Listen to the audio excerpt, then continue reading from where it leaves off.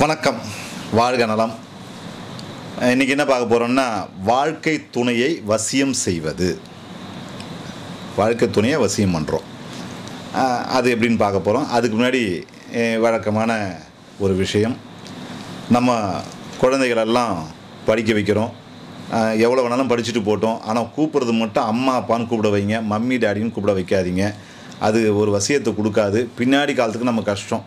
அப்புறம் குழந்தை என்னோட ஒட்டலை பந்தமாக இல்லைன்னா சொல்ல முடியாது. அம்மா அப்பான்னு கூடும்போது தான் பலம் அதிகம். அப்படின்னு சொல்லிட்டு நம்ம வாழ்க்கை துணையை வசியம் செய்வது எப்படி அப்படின்னு பார்ப்போம்.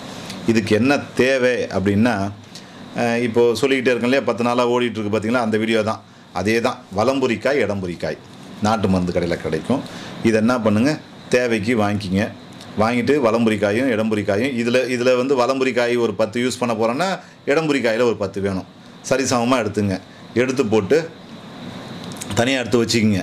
பன்னீரில் அலம்பி நேரில் காய வச்சு எடுத்து வச்சுக்க வேண்டிதான் வச்சுட்டு இதில் என்ன ஒரு விஷயம் சேர்க்கணும் அப்படின்னா நல்ல ஒரு விளக்கு நெய் விளக்காக இருக்கணும். நல்ல சுத்தமான நெய்யாக இருக்கணும்.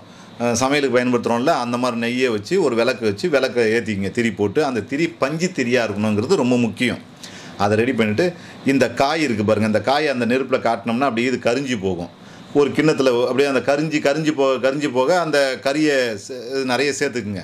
இது மாதிரி அஹ், வலம்புரிக்காய் இடம்புரிக்காய் ரெண்டுத்தையுமே காட்டி காட்டி காட்டி காட்டி காட்டி காட்டி அப்படின்னா கரிஞ்சி கரிஞ்சி கரிஞ்சு அப்படியே நமக்கு வந்து கறித்தூள் மாதிரி கிடச்சிடும் இப்போ ஒரு கிண்ணத்தில் நமக்கு தயார். கறித்தூள் மாதிரி ரெடி ஆகிடுச்சு ரெடி பண்ணிட்டோம்.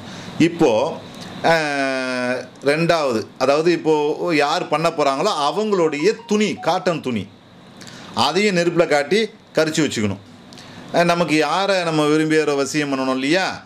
அவங்களுடைய துணி கண்டிப்பாக அவசியம் இதில். அந்த துணியை எடுத்துக்கணும்.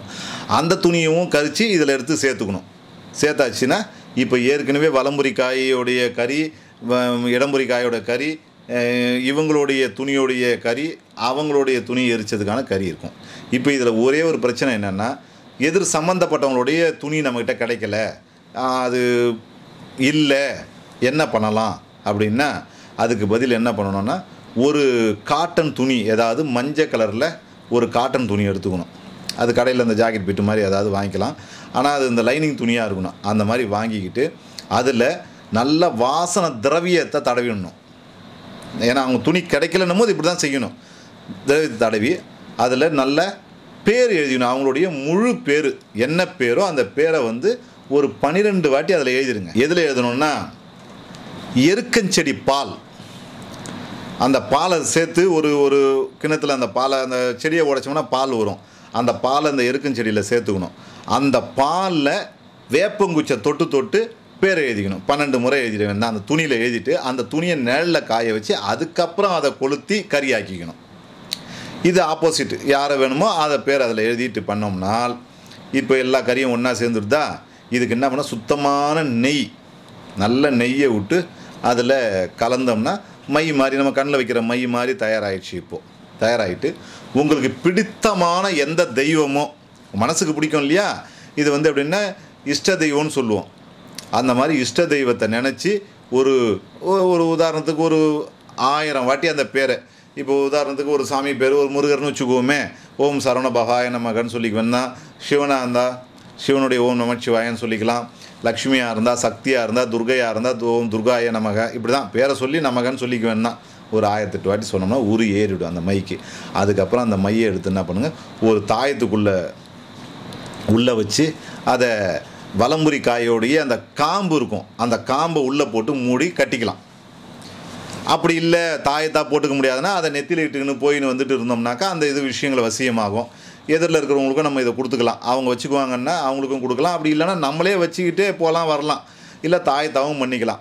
நெத்தியில் தான் வைக்கணும். புருவத்திலலாம் இடக்கூடாது அதை. இல்லை தாயத்து பண்ணிட்டா பெட்ரு இதை மாதிரி பண்ணோம்னால் இந்த மாதிரி சம்மந்தப்பட்ட வாழ்க்கை துணை சம்பந்தமானவர்களை வசியம் செய்வதற்கு இது ஒரு ஈஸியான வழி. இப்போ நாங்களும் பண்ணித்தரோம். இது ரெடிமேடாக எங்ககிட்ட இருக்குது. எது? இந்த பஸ்பம். இந்த மை சொன்னோம் இல்லையா? இந்த மையை வந்து நாங்கள் வேறு ரகத்தில் இதை செய்து பவர் உருவெல்லாம் ஏற்றி வச்சுருக்குறோம். அப்படி தேவைங்கிறவங்க அதை சொல்லலாம். இல்லைனாலும் இதை சாதாரணமாக அவங்களே செய்துட்டு போயிடலாம். கஷ்டமானதே இல்லை. எல்லாம் ஈஸியான ஒரு விஷயம்தான். இதை செய்து வாழ்க்கை துணையை வசியம் செய்திருக்கலாம். செய்து வாழ்க்கையில் நலம் பெற்று வளம் பெறலாம். இது எல்லாமே நேர்மையான விஷயத்துக்கு பயன்படுத்துங்க. அது ரொம்ப முக்கியம். அப்படின்னு சொல்லி உங்களுடைய வாழ்க்கை சிறப்பாக அமையட்டும். நன்றி வணக்கம். வாழ்க நலம்.